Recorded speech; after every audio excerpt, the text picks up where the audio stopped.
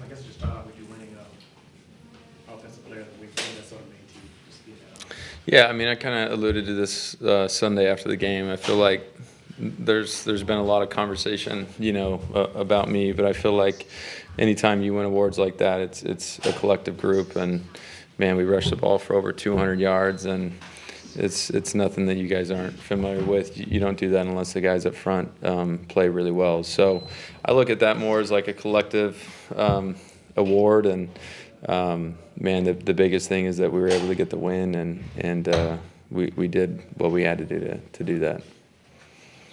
Do you think what you did Sunday, I don't know if this is the right terminology or whatever, okay, but does that warrant more snaps or whatever, or?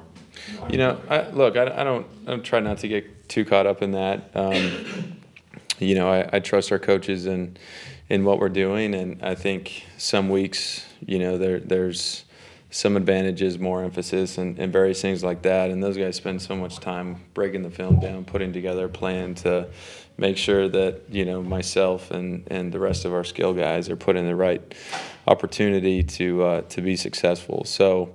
Um, Yeah, I think that's really, really where my mind is at right now. And I think the more that I can do there, I think it creates opportunities for other guys in other places. And so, man, th- this thing is just evolving and, and we'll just see where we go.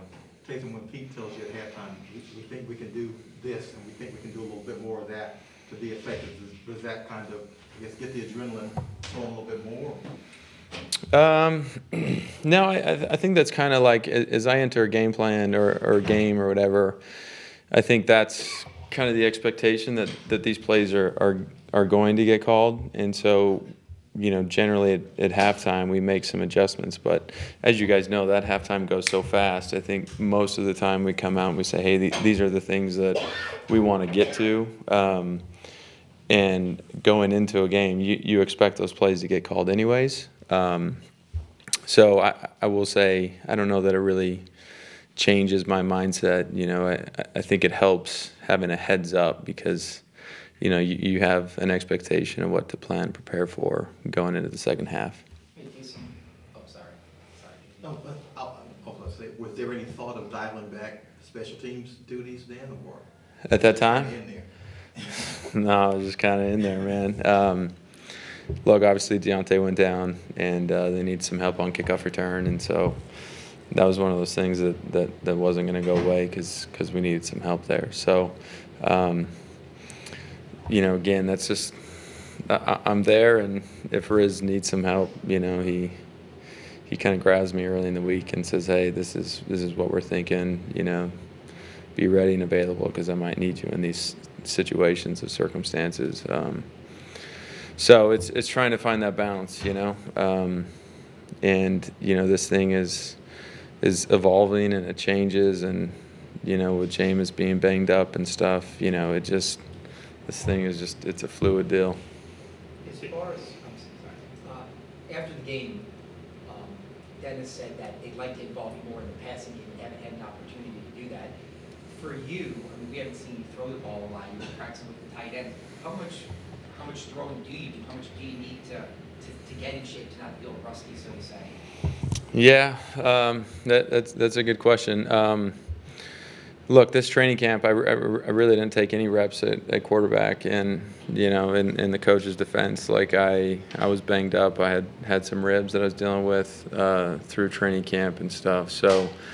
I think the last few weeks it's been an added emphasis for me to make sure that you know I'm, I'm still staying sharp. But you know this offseason, the emphasis wasn't at the quarterback spot. It was you know making sure that I could do the other stuff too. So um, look, I, I've been doing it my whole life, so I still feel comfortable doing it, and I've, I've got a nice little routine now. Um, the last few weeks where I, I feel comfortable doing all of that. I thought when Dennis said that in the context of the question, I thought he meant, he meant receiving, he said passing game, but it was a reference to the question, this is my question, to the fact that you, you just got one pass this year, so. Yeah, I mean, I, I think that's probably a, a fair comment too. I, I think both perspectives there probably make sense. Um, and look, we, we have a lot of things that uh, different opportunities for me, and um, again, it's one of those things that you kind of prepare for during the week, and then if your number gets called in the game, then you, you try and go take advantage of that. Um, but you know, again, every game's a little bit different. Um, you know, early this year, we've we kind of fallen behind, and so our game plan was shifted. We, we were in a lot of two-minute situations, and you know that is what it is. Taysom, I know it feels like we've spent six years asking you how comfortable you, you are being patient in whatever unique role it is. How about the first four or five weeks of this season? Were you, I mean, was it getting frustrating that, that there weren't a lot of opportunities? And then how rewarding, you know, was it to, Yeah. to see that a game like this was just around the corner? Look, I, I, I, I've been doing it long enough, you know, that uh, I, tr- I try not to, to get frustrated. Um, and, uh, you know, I think the, the thing that becomes hard is, is when you start to lose games, you know, like no, nobody likes losing. I certainly don't like losing. And, um, but I, I trust, I trust our staff and, and, um, the opportunities they create for not only me, the rest of our guys, and I'm realistic in, in knowing that we got a lot of talent offensively, and guys need need to get the ball and get touches and stuff. And so, man, I try not to get too caught up in that. I think early in your career, it's a little bit harder to um, to not always think about those things. Um,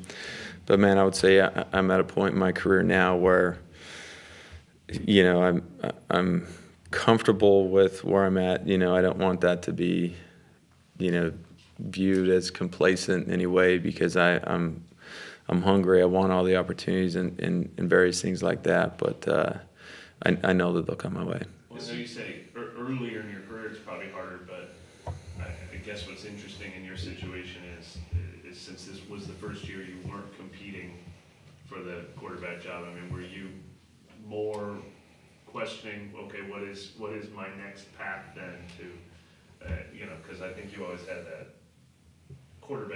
future job as, as sort of an end game goal. Like, Sure. Is it harder to figure out what the, what the end game goal is now?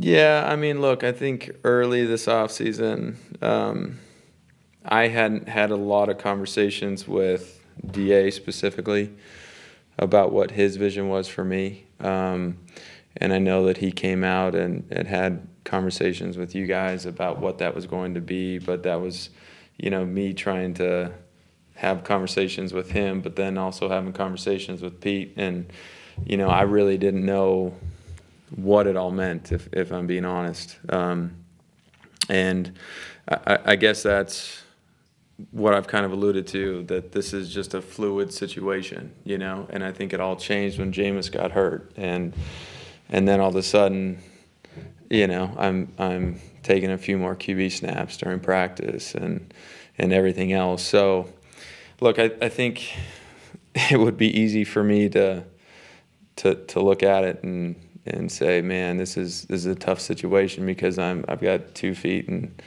you know one foot in one room and one foot in the other. But um, man, I'm grateful for for all the opportunities that I that I have been given, and um, I'm at a point in my career where I, I'm just gonna do my best um, in, in whatever opportunity it is, and and that's really that's really where my mindset is, and. Uh, I think if I start to worry about anything other than that, then then you start to go a little crazy.